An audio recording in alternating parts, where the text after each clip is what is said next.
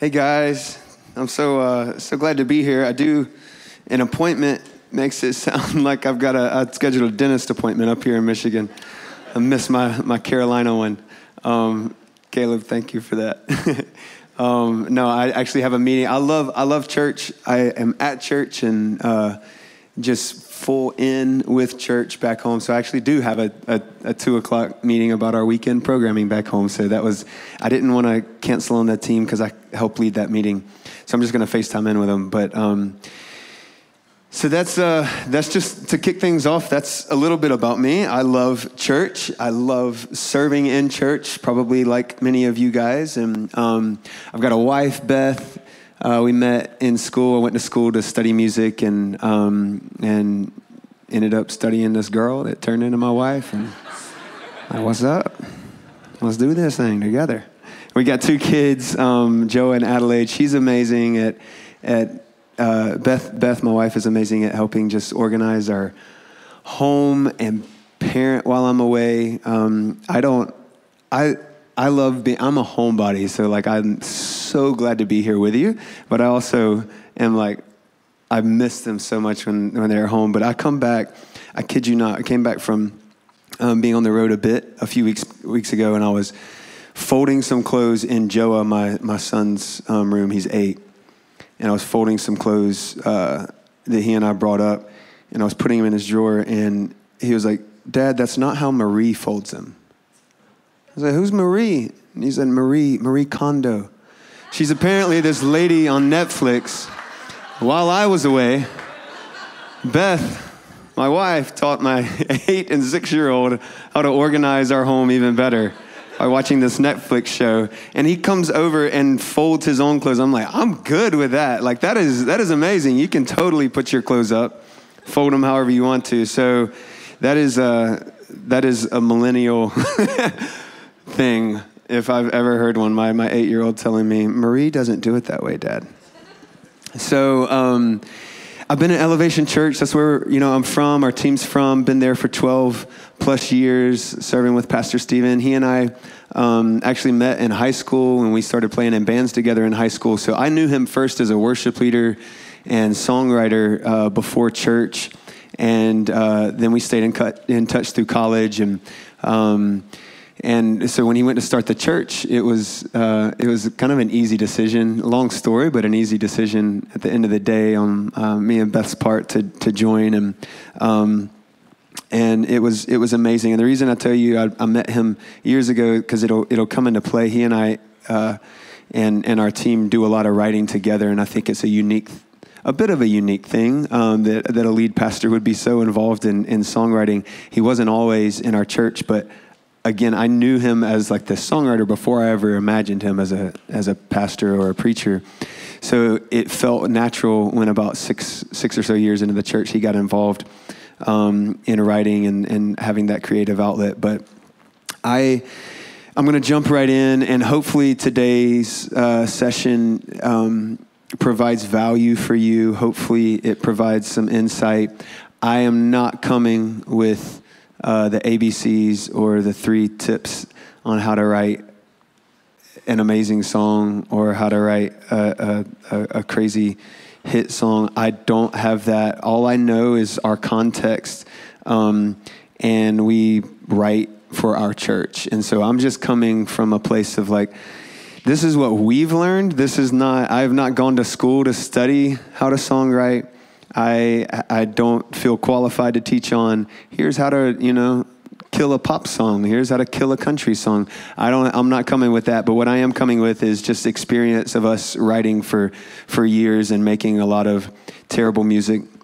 And um, and then uh, learning learning along the way and and uh, finding songs that do in fact work for our church in and out of seasons. So um, I thought it would be cool um, if uh, if we talked about four C's today.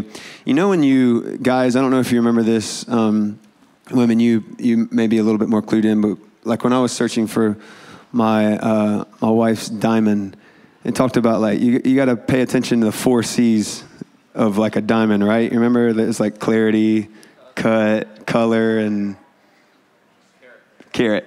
Of course, carat. there it is. So I thought for um, for our songwriting session, we might we might talk about you know it's a bit songwriting is a bit like finding finding a gem, finding a diamond. It's like uncovering all these different things. I don't think one is, at least in my experience, has ever just been laying out there in the middle of a field, or God hasn't just dropped a song in its entirety, in its full, like out of heaven. Um, here you go. This is everything. It's always felt like an uncovering and a search. And okay, this part is right, got the color right, but the cut's not exactly what you want it to be. Okay, you got the cut right, but you know the carrot's not all there yet. So um, the the, the four C's, I guess that we can shape this up uh, today. The ABCs always be um, connecting. I'm going to give them to you up front connecting, collecting, collaborating, and correcting. So, those again, the four C's for today's purposes uh, of songwriting connecting, collecting, collaborating, and correcting. You know, we were um, a few years back. We were uh, had scheduled this writing session at church, and um, we we showed up and like normal. We were just kind of chit chatting and um, getting getting ready to to dive in, and we we opened uh, with prayer and asking God to to bless bless our session, right? And ask God to, um, God, would you give us a song today? And we felt that God said, "You give me a song today. I've given you all, all the tools. I've given you the ability. I've given you a lot of, of things to to help shape, uh, you know, an offering for me, an offering to me. So, like, why don't how about you you get to work today? And and I've found that so often um, songwriting is like that. It's like no, this is we all have skills and ability and gifts and talents and experience and years that we are bringing, and all these things are are parts of what we're bringing together to to help um, you know, shape a new a new sound and shape a new song and shape a new offering to give to God. And so, um, hopefully, today is just another building uh, block for for you on your journey of of writing and to jump in with connecting. I think again, I mentioned that. Uh, what I'm what I'm coming uh, with today is just our context, and we write for our local church. Like that's who is in mind. Our people are in mind, like the people of Elevation Church. And specifically, we, we have several campuses, specifically, even the people I think that I'm seeing week in and week out at even my, uh, you know, localized campus. I'm picturing like the one guy, Rick Parker, who's always there, you know, on Sunday morning and Saturday night. Um, and I'm picturing is Rick going to relate to this song? Is Rick going to connect with this lyric? And I think that's important wherever you, I mean, I'm, we're all here at a church conference, obviously, to be empowered as church leaders. So I'm assuming we're all writing, for the most part, maybe for our church. And maybe some of you are writing out in, in other contexts as well. But I think it's so important to be able to say, I, one, am in touch and connect and in touch with the people of, of my church to a point where I know what's going on in different ones of their lives. I'm in touch with the people of my church to, to have a pulse on, okay, like this, this lyric, I'm not writing a song to try to put a, a, a broad brushstroke over the global C church. That's, that's not what I even feel called to do um, nor do I feel like our ministry is called to do as, as, a, as a worship ministry who is writing songs. We feel like God's hand's been um, on some of our songs and God's breathed on some of our songs because we have remained focused on we're going to write with what's, who's right in front of us and for uh, you know who's right in front of us. And so I I just want to encourage you like um, to to have that pulse of of what's happening in your church know what's going on in your community. Um, don't be interested in writing or so concerned, at least, with writing this timeless song as much as you're concerned with writing a timely song. Like, God, what, what in this season are you wanting to say to our people? What in this season are you wanting to say? Uh, and of course, to me, like, are you, you know, moving on a little bit? Uh, is does this song connect to you? I found personally, I can lose sight sometimes in the revision process of songs that a song loses even its personal connection to me. So let me just encourage you always go back and have this like checks and balance um, balances in place where hey am i still resonating with this lyric or does it feel kind of like no like it, it, it doesn't connect with me in, in quite the same way.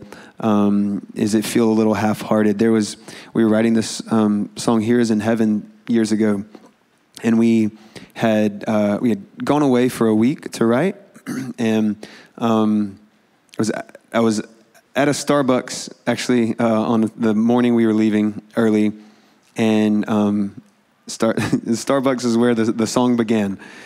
God gave me the atmosphere is changing now, for the spirit of the Lord is here.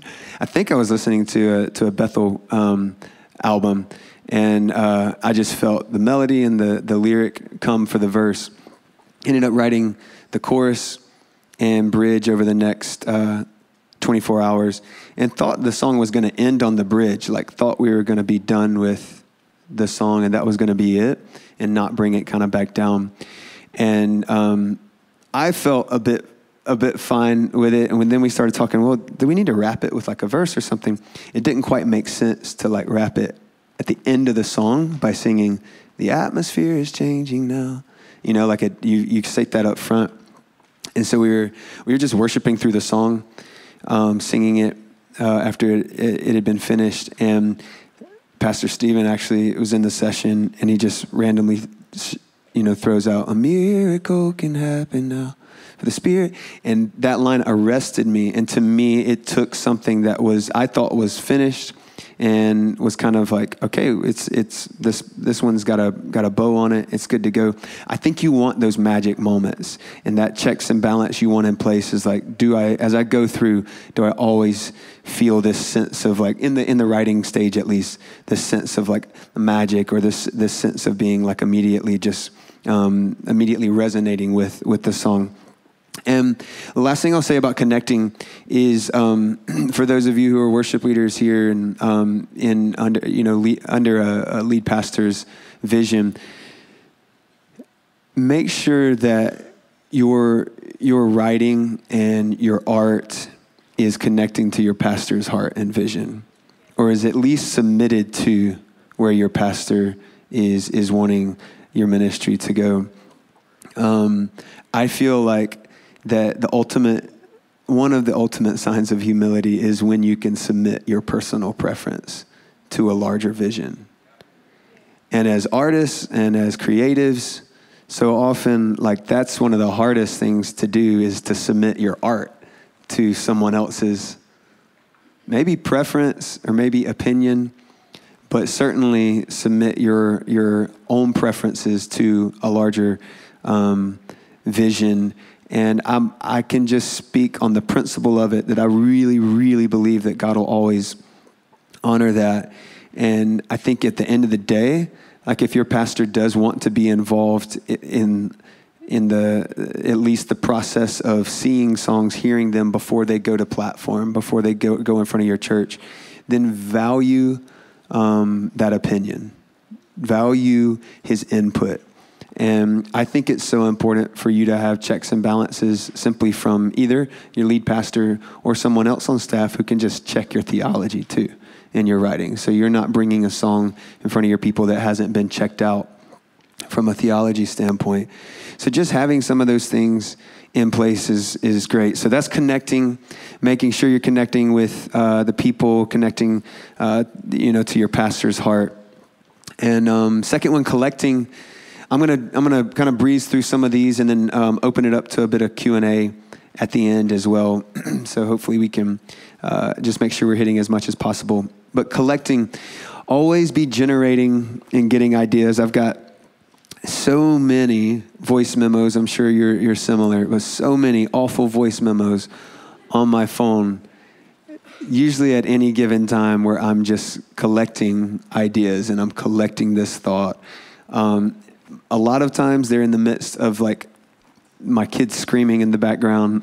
a lot of times they're they're in the midst of just the craziest um, noise, or I'll be in an airport and just like quickly hum like eight seconds of something because I don't want to forget it. And there's so much noise.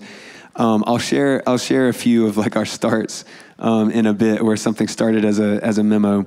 Um, but I don't see these like starter voice memos as a waste. I do see them as a way. Like I never feel like they're when I when I look back, I'm like, oh my God, there's like so many collected on here that just seem seem like a bit of man they're, they're, they're a waste they're taking up space on my on my phone and i don't see that they're being used but i think in, innately now at least having um, been writing for years now i've seen so many ideas you know lead to this this next one and we talk about for building something you, you have scaffolding at every new layer, right? And so we, we talk about uh, is this maybe a scaffolding idea? I think all this is a way somewhere. Like this idea is going to lead to that idea. That idea may come back three years from now. This idea may all be like really terrible, but maybe 5% of it, or maybe just that one word actually, you know, spawns this one. Um, but I, I think like just taking the pressure off of yourself, whether you're in a session with others or uh, like a collab session with others or with yourself, taking the pressure off of yourself that like the whole song idea needs to come and be completed in in its entirety like in one session or you're going to have a complete song in a matter of 2 hours. I think like that that very well well may happen, but at least take the pressure off of yourself that it's supposed to happen, or that's the way songwriting does happen. I haven't found that to be true in most cases. Um, and I was I, I listened to this podcast, and the writer is. Have you ever heard of this? a few of you. So write write that down. Just if you're interested, and it's just another tool. And the writer is is the name of the podcast. Um, it's a songwriter. He's who's been doing it for a long time, named Ross Golan, and um, he interviews other songwriters, and it's it's just pop songwriters, um, uh, country songwriters, just people who have been doing it in the game. It's not a Christian thing, so disclaimer. Um, they're just they're they're writing in their fields, but they're writing some of the um, you know largest pop hits, and so of of the last like however many years, and so he's gotten Ryan Tedder from OneRepublic on there. He's got busbee on there, and uh, Benny Blanco, and I was uh, listening to this one just uh, yesterday on the flight on the way up with Greg Wells, who's been around for uh, I don't know 20 years or so producing, and um, he produced like uh, "Apologize" um, by OneRepublic like 10 years ago, and has uh, produced Katy Perry's "Teenage Dream," and um, has co-written with Katy and Adele and everything. So, um, and Greg Greg Wells, this guy, this writer was saying, um, most days his writing amounts to absolutely nothing like 90% of what he does never feels like it sees the light of day. But uh, if you're always collecting this idea, the principle of always just putting in the work and always collecting the ideas, that principle is going to work for you because you don't have to feel like you're you're generating ideas from scratch every time if you haven't picked up a, a pen or sat down at a, a, a piano to write in three months. So if you're always writing, like Stephen King says, he writes 360. Uh, how many days are in a year? However many days there are, 65 for. Um, he writes that many days. Like I've, I've seen it in print where he's like, I, I even write on Christmas Day.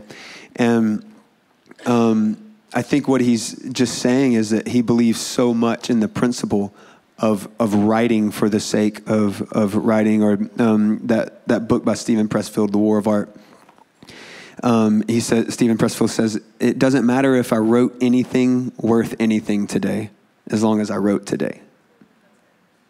So I'm just, I'm just saying all that today to, uh, to hopefully relieve some pressure from you that like you're, you're probably going to come out of a session, you know, one day af- after one day, or come out of a session even after one week, and you have um, have something amazing. And again, obviously, very well could happen, but I think people that have been doing this for years and decades have found. Uh, that to not necessarily be the case, but what does help them is just the consistency of putting in the work and the consistency of creating and to reinvest the dividends basically of, of that creative momentum. Um, and I think sometimes you can even ride a high of like creative momentum. So like sometimes we've we've found like we're writing a we're we're in the midst of writing a song or finishing a song, finishing a session, and let's say we were going to stop at at 8 p.m. or something. There there've certainly been times where we're like we're so like freaking amped about like whatever we did. We we took that and jumped off into one other idea that we had the smallest start because we wanted to just like ride this momentum and then we carry that momentum as long we ride that wave for as long as it, it happens and i know that sounds probably fundamental but i just i'm trying to give you like any little trick or trait like when you feel like a bit of the magic then try to chase that magic and go as, as far as it'll go and and then like be okay like when it when it lets up and trust that all right I'll, you know the next day i'll get back to work and we'll see what happens then and then the day after that. Um, so, uh, collecting, just be collecting ideas all the time, be r- routinely creating. The next one, collaborating. um, I mean, this one's pretty straightforward. There's just no reason not to be collaborating with others, in, in my, my experience at least. Um, and don't wait for someone else to, to prompt it. Um, we collaborate all the time the song we have a song a newer song called here again and um, i knew i knew what the I, I knew what the song was meant to be about when it was uh, when it was beginning. So that song um, actually started when when my mom was passing a couple couple years ago, and I started the the song when she was in she was in ICU for like the last uh, for like ten days before she she passed, and I saw um, this interesting thing like she was unresponsive in ICU, and it felt like she, you know she was obviously present in her body, but not necessarily in her mind and in her spirit. And so she had like kind of one foot to me. Um, like one foot here, one foot in heaven. And I was watching her kind of just look a little like suspended, like in between two places, right? Like, so she was um, just kind of caught in, in between and um, began uh, writing um, some, uh, some lyric down during that time and melody. And um, ended up writing a few verses set it down for uh, for a few months and didn't come back to it um, until maybe three or four months later. And it and it you know it was it was uh it, it was good for for what I thought, but I brought it um, to um, to a session, and th- and the lyric was. Um, it was about being, uh, yeah, caught in between, and the lyric was "Meet me in the middle." Um, where, where, something like um, when you find find me in this lonely place or in this hurting place meet me in the middle and here's what collaborating did so uh, I, expl- I, I sang through the verses and then pastor stephen who was in the session he was like so what's like what's the objective like what are you wanting to say so i explained just the I feel like you know what's it feel like when we're when we're caught when we're in this like in between state we're not you know, here, but we're not there. And so he's like, okay, well, let's not say it so on the nose. Let's not say, like, meet me in the middle. Why don't, why don't you say, can't go back to the beginning? Can't control what tomorrow. Okay, that's way better. that's so much better. And I think like that's the beauty of collaborating, right? Like you can you can just bring other people around um, a, a message and they can hopefully help like fine tune or in that case like um, you know kind of re uh, reprint the lyric altogether to open the song but um, I just don't think there's any reason for you to not gather around other other people and just see what uh, what might come out and surprise you and captivate you differently. Um, and the the last thing I would say is uh, correcting. So the the fourth C. So we, you know, I mentioned this is about like kind of like a diamond a diamond hunt, and I guess a bit of a archaeological archaeological archaeological dig. Um, and uh, I think it for us in our experience, songwriting has just taken work so much of the time. Like it's it's not been in some cases it's not even been an enjoyable process. like it feels like this excavation, like you're digging for something. Um, I, I, I, said, you know, a lot of a lot of times things haven't fallen out of the sky, but you you're just uncovering this and you're digging for that and you're excavating this part. And I do feel like I we um, kind of have mental models that we um, have talked through as a, as a team and staff back home. And I feel like as a, as one of the songwriters on our team, like my mental model is like an archaeologist. Like, okay, this helps set my expectation. Like I'm going to get out there and just get to work. Like I'm not going to find it sitting on top. Um, and it's not going to come come across that way. And correcting lyrics, correcting melody, revising uh, and revising and revising again is is I think so so um, key. And so I I don't know like your your experience, and we can jump in in just a moment to some um, Q and A, and maybe you can let me in and ask anything. But uh, I don't know. Early on in, in writing, I I just thought like, okay, where where we leave the session, like that's gonna be that's gonna be the song. Or if we're sitting with a song for a couple weeks, that's it.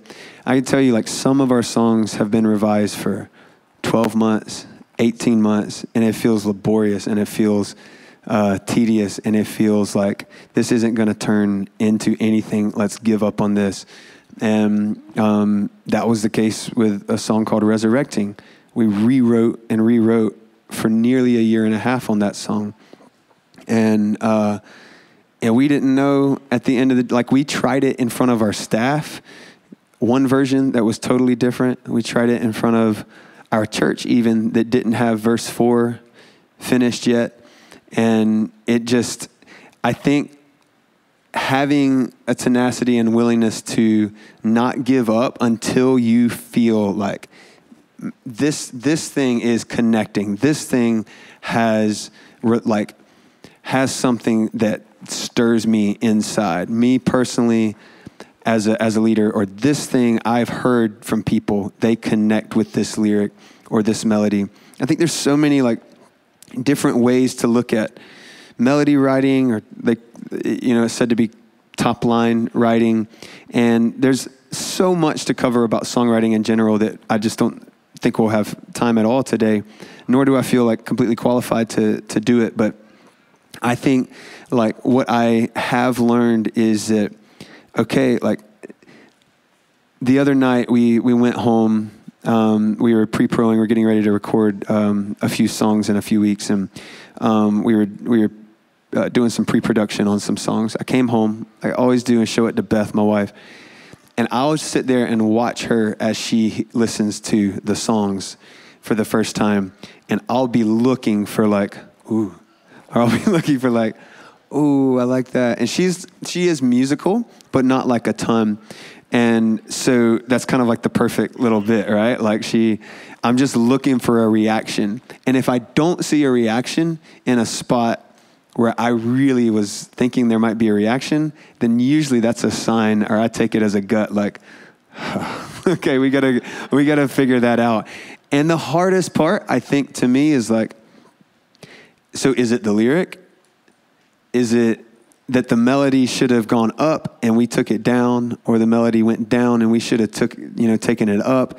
Like that's but that's all part of the digging, and you just don't. I think you keep at it and be willing to to go another week or another six months, and I, you know, hopefully, like I, hopefully that's what takes something from you know, good to great, and in your case, and so I uh, I wanted to, you know, for instance, I'll come to the altar. This is where this is where the song started for us. We we had this idea sitting around for quite some time. It's coming up here in a minute. So this is in four four, time signature four four. One, two, three, four.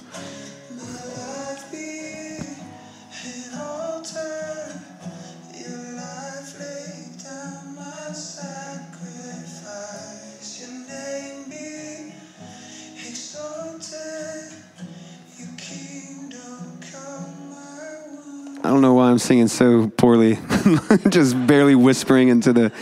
So that's in four four, right? And and uh, I had the idea. Pastor Pastor had this idea that sat around for quite some time.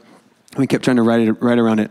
My life be an altar. Your life laid down my sacrifice, and it was like, what does that mean? That's like super heady. And um, but we we gave it a go for quite some time, and it was in four four. Mm-hmm. Bum, bum, bum. But can you hear it? Oh, come to the altar. And so, again, months and months and months, we finally were about, we had sent it to someone else to try and write something to it. And we were eventually away for, for a session and threw out, well, what if it's in, why don't, why don't we try it in 6 8? My life be an altar. And what, what, okay, maybe the lyric is the thing that's just like not connecting because it's just too complicated. So what if it's like an invitation song? Oh, come to the altar. And after 18 months of trying to make this work, then we finished the rest of the song in, in a matter of a couple of hours. Because when he was like, I'm going to put it in 6 8 and try this, this invitation and I said, Oh, well, if you have that idea in 6 8, I've got this idea I've been working on that starts, Are you hurting and broken within? And it was like, this thing just came together. But you just don't know that until you just decide to stick with something and finally something will unlock. Or maybe you're in a room with somebody different and they're like, oh, well, if you're going to do that, I've got this. And I, I, I swear there's some like little magic part of, and I'm using magic. I'm not like, I understand the Holy Spirit. I keep saying that. I'm just going to clarify. I just kind of use that as the, the, the, the, the symbol or the, but I, I, man, sometimes I'm like, there's just some moments that like it wasn't meant to happen until this like group in this room or this this like you had to go through this even to get to that melody or you had to go through this to even understand what that lyric meant. And so just stick with it or certain songs may may never even come out. Um, this was resurrect this was resurrecting's like early like it wasn't even anything. So you have different chords from the ashes of defeat, I will rise in victory, for the resurrected King has resurrected me. So, really, all we took from that after that was maybe version one. I won't show you version two and three that led to the to the final thing. But we were like, okay, well, if we're gonna chop all this stuff away, what's worth keeping? All right, resurrected King, resurrected me. Okay, let's keep that, and let's change the chords that was the chorus. Maybe that, that lyrics um, not meant to be in the chorus. Maybe the lyrics meant to be in the bridge. The here's the chorus. I think of resurrecting. It was so complicated.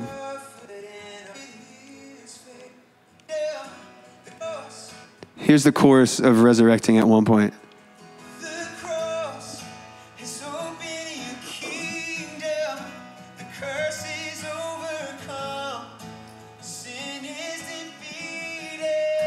Many words already. Not done yet. We got another for a chorus.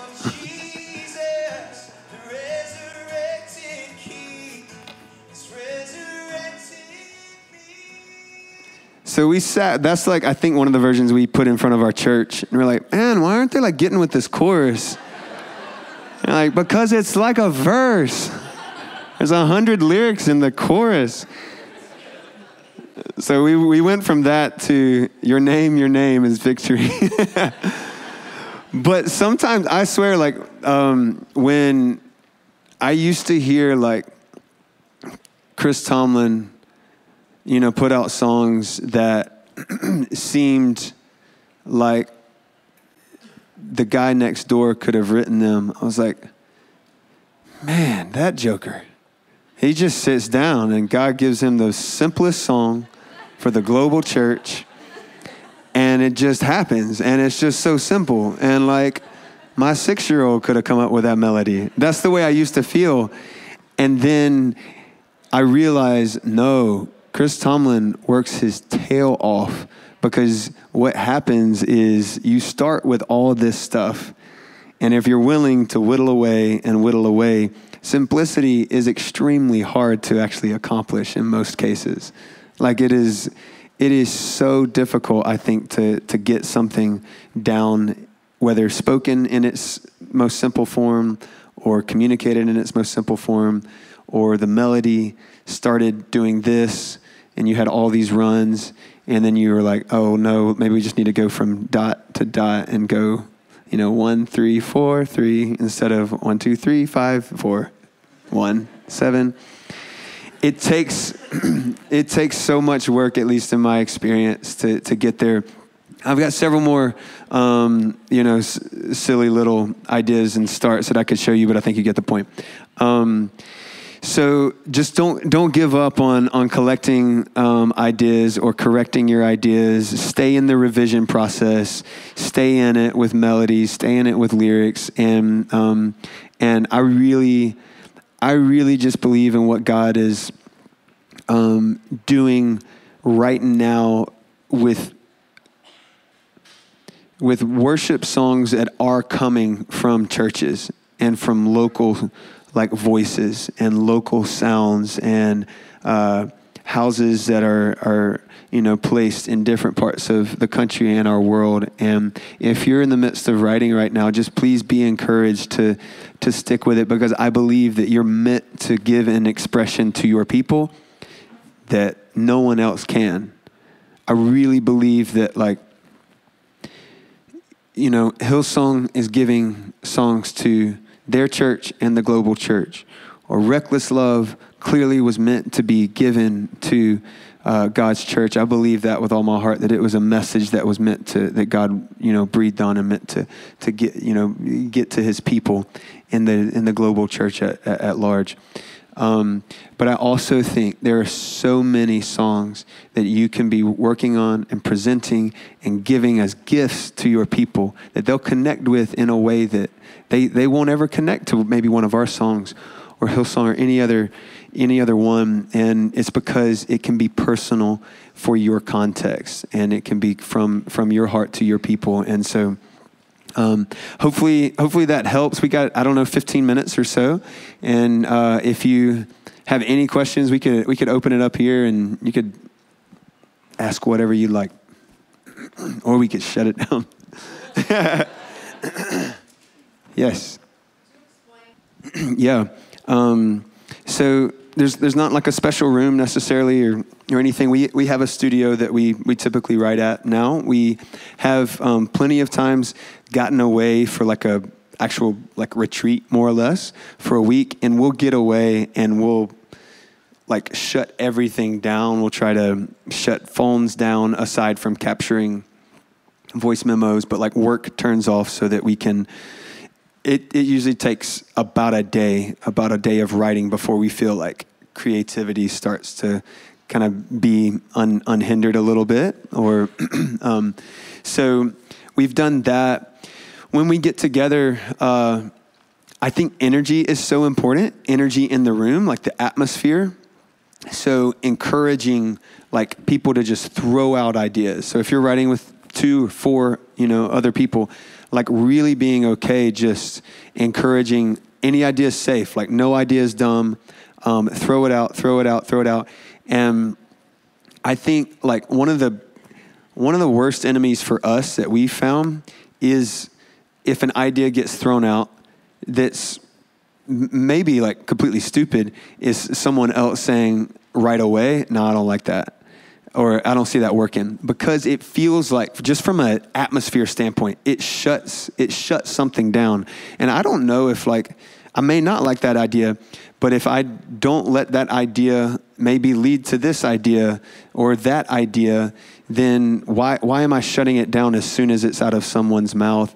And it just like songwriting is so vulnerable, right? Like, so it's extremely difficult to build up already the courage to throw something out that you, you know, may may have zero clue if it's good or not. And so, I think creating that, you you want to.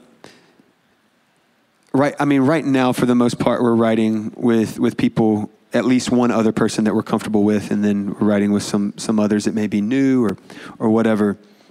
But I think like in the beginning stages, we didn't have that obviously, and we were building trust with one another and building. But I think one of the things we did early on is like identify, man, sometimes we just, I'm going to pick up my guitar and march around the room and just shout this melody just so I can like lift the room because it kind of wound, it's, it felt like everybody just ended up doing this. Jotting our, our lyric thoughts down in our own head and no one was saying anything else because and then we were all like just insecure.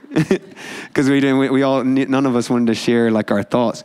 And then that and it's like well what are we doing in the room together? Like we could do this at at home with our internal dialogue and our internal thoughts in our journal.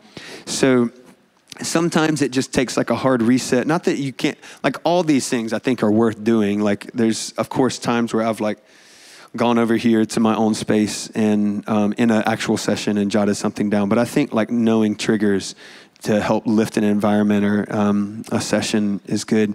And we just, uh, I mean, we, we just chase as many ideas. And let's say like a, a, a good session where uh, we, we always, we always come in with an idea so we're never starting like from zero and just looking at one another going, well, like, um, does anybody have any, some, any anything?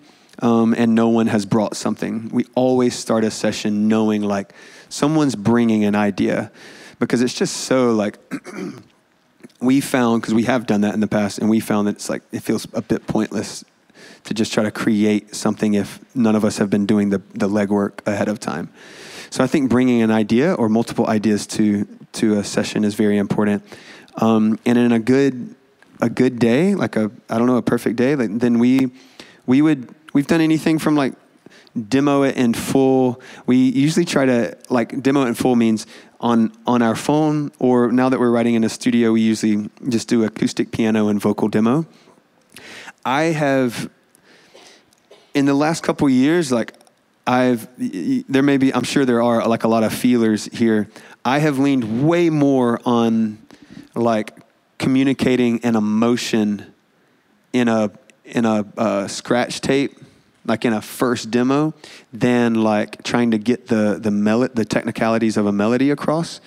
So early on, I used to really be nitpicky about if we had multiple worship leaders because different campuses, right? And like I really wanted them to make sure they they heard all the melody in the demo so that they were singing it right when they were teaching it to their campus and their people. So I noticed though, like over the years, like, man, my demo, like, I did, I was feeling it way more in the writing session, and then my demo lacks this like kind of passion and and feeling. And so now, I mean, this is this is just uh, for whatever it's worth. But now I'm on a scratch demo. I'm shouting, like I'm wanting to convey, like, I believe in this thought. I believe in this message. I believe in this melody. And I think, um, I think that's so important to try to communicate. So, um, yeah, that would be a quick overview, top to bottom. Yeah. we, we found like four seems max. Um, I don't I don't know that there's like uh, uh, a right number or wrong number necessarily. I think it probably would be contextualized, but um, for the most part, I think like three is like a sweet spot for us. Um, th- three of the like right people.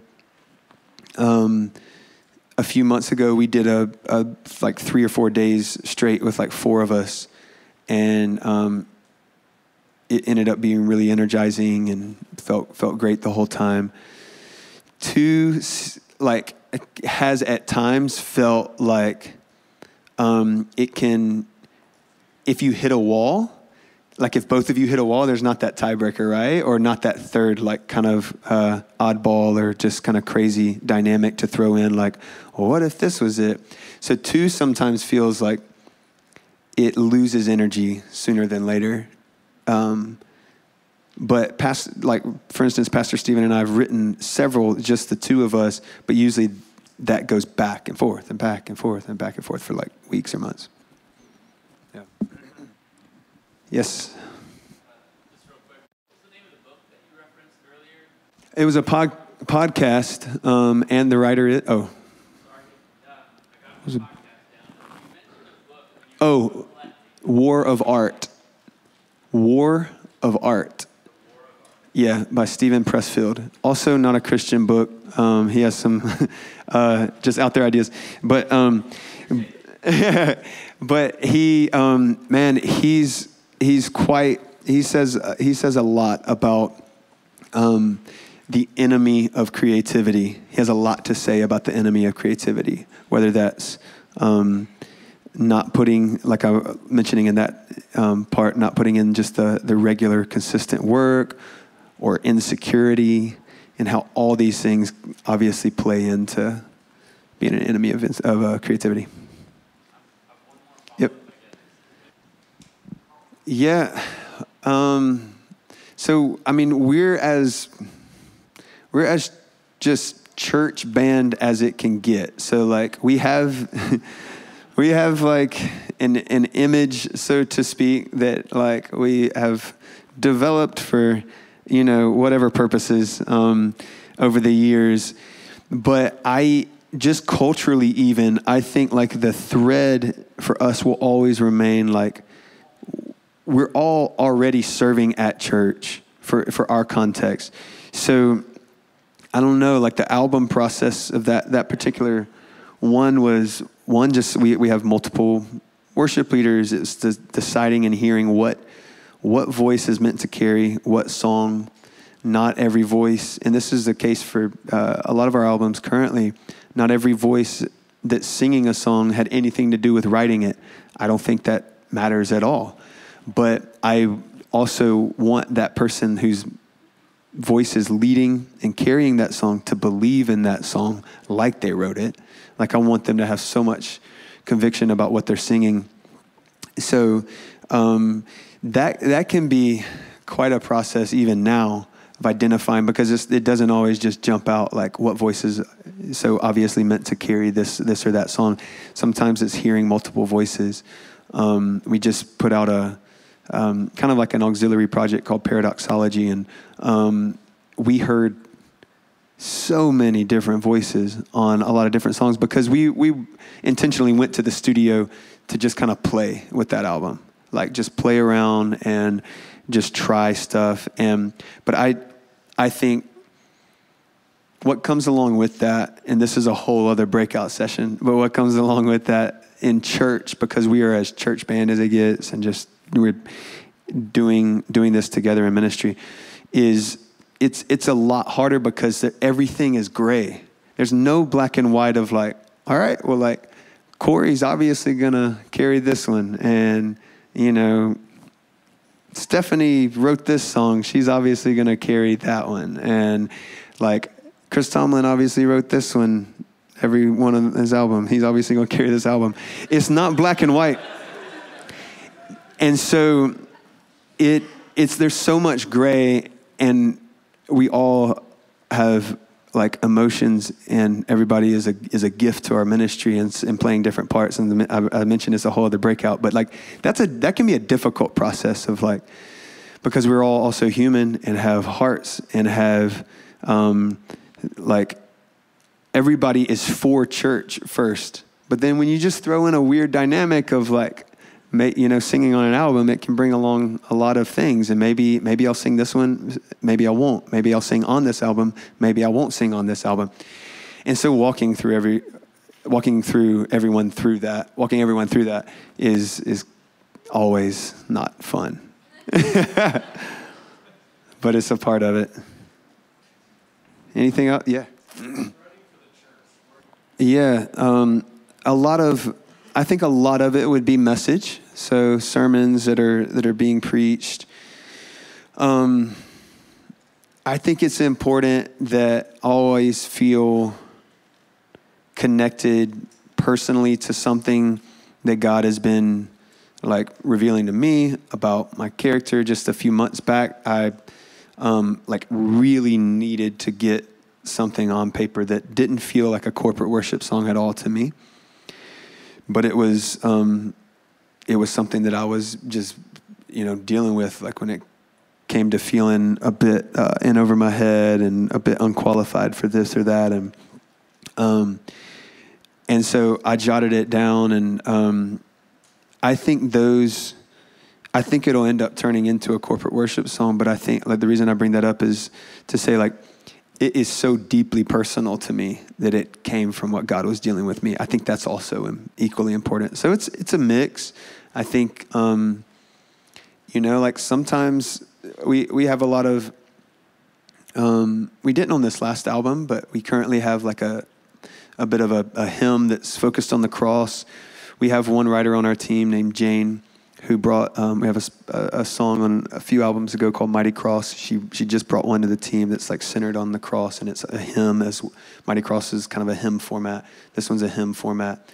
She um, she's like really rich and kind of uh, deep with like theology and does a lot of research, and so that's not coming from necessarily a message. It's not coming, but it's just coming from you know her wanting to have something that's really grounded. So I think we just try to stay well rounded. Yes. Well, I think, yeah, that's a good question. For us, our objective is always serving our church in a corporate sense. Um, when it comes to like the, the main, like our main albums. So we're always having that as the starting point.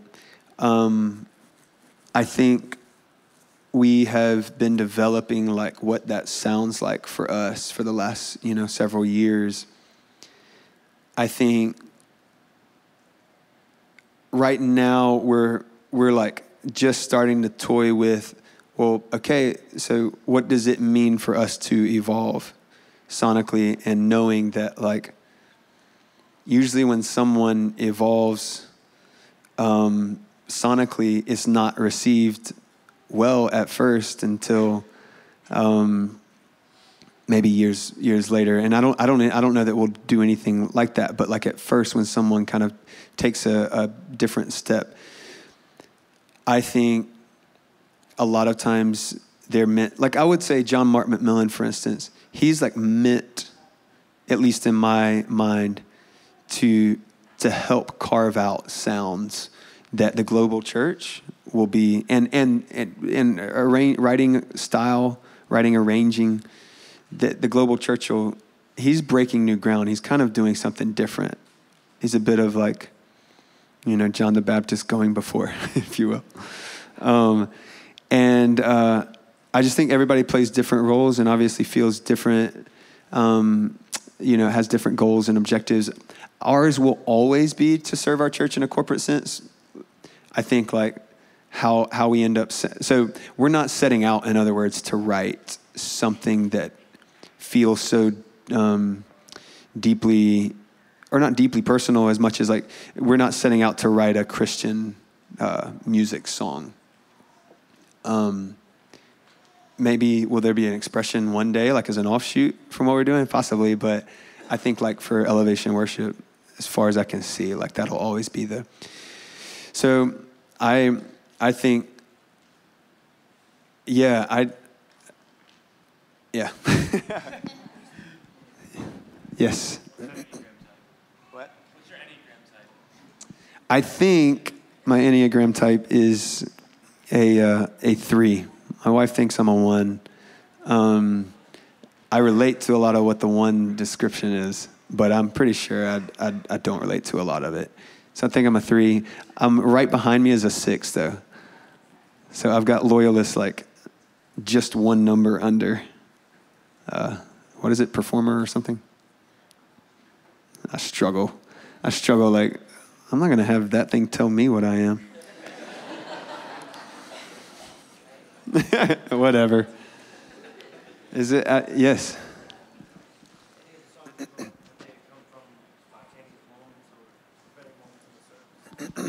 um, yeah, a couple. Um, we we have a song on this last album called Worthy. Worthy is your name, Jesus. And that chorus, Pastor Steven actually wrote um, coming out right before his sermon. We were in worship. I don't remember what song we were doing. And he just came out with this piece of crumpled paper, set it on his like podium. And literally this is like if I could pull up the film film tape, I would show you. This is what it looked like.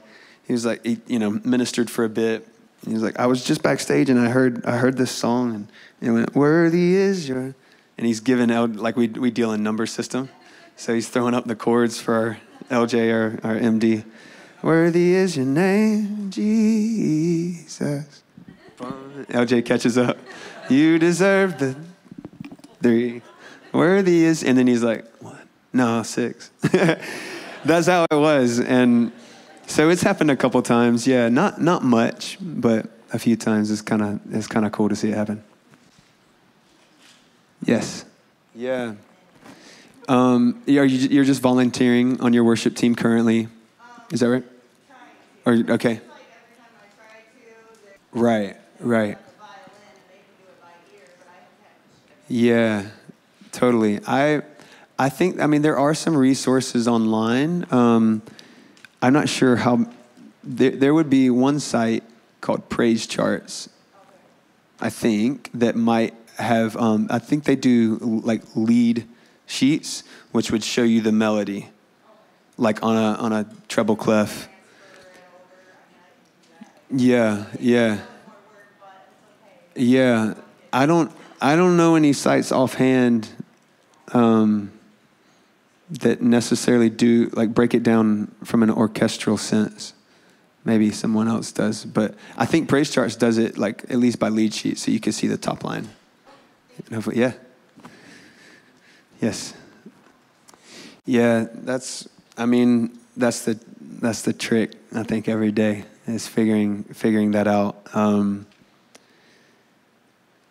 truthfully, like I grew up in church. My dad was a minister. It's all I knew was like small local church ministry. I didn't have. I didn't have a dream at like 16 to be like at this place like this this certain stage or to do this certain type of album i just i, I don't i don't think i wasn't i lacked aspiration i just didn't have it my context growing up was like i love seeing my parents serve in local church ministry. And so it was like i knew at 17 i was called to to the church.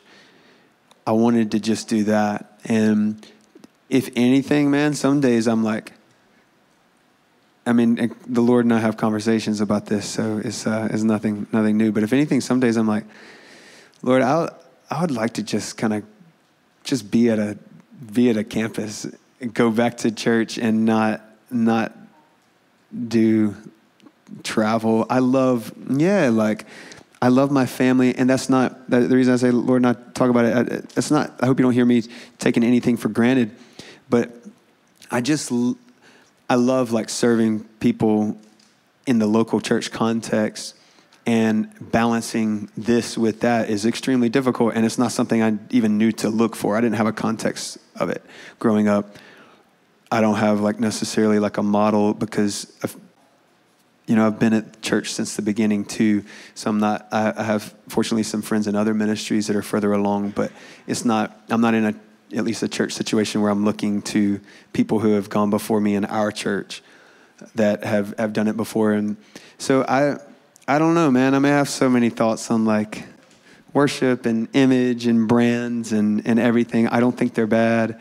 Um, also, think they can um, just complicate things. I have a whole lot of thoughts on social media. um, but it's, it's an interesting thing. I just, I think, like, honestly, my, my answer at the end of the day is like, if I can just stay grounded, focused on local church, still while I'm traveling, it's important to me that I'm getting ready to jump into this call back home with our programming team because they're relying on me and they're not seeing me like travel and be like, well, you know, we'll see what happens for the weekend. Chris was gone, so you know, things back home didn't get taken care of. I don't want that to happen.